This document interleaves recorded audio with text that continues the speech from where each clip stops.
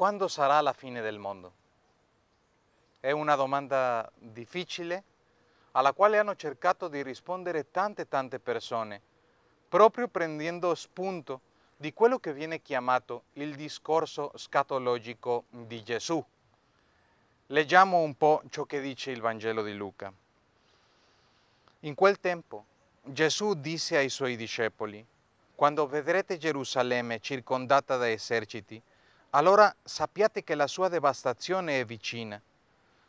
Allora coloro che si trovarono nella Giudea fugano verso i monti, coloro che sono dentro la città se ne allontanino e quelli che stanno in campagna non tornino in città. Quello infatti sarà un giorno di vendetta, affinché tutto ciò che è stato scritto si compia.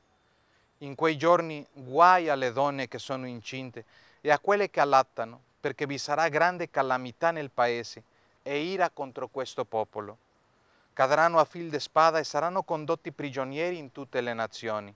E Gerusalemme sarà calpestata dai pagani, finché i tempi dei pagani non siano compiuti.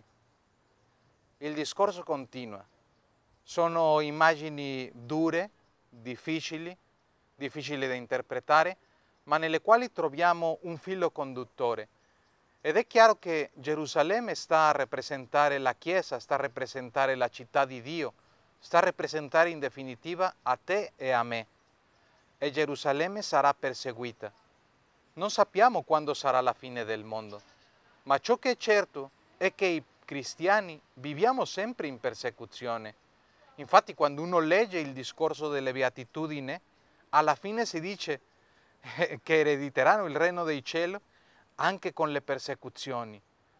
Saremo perseguitati proprio per essere discepoli di Gesù e questo non ci deve spaventare perché il Signore ha detto che ci sarà dato quello che dobbiamo dire in ogni momento per difendere la nostra fede, per difendere il nostro desiderio di essere fedeli fino in fondo, dando la vita per Dio e per i nostri fratelli nella Chiesa non ci dobbiamo preoccupare tanto della fine dei giorni, della fine del mondo, quanto della fine della nostra anima.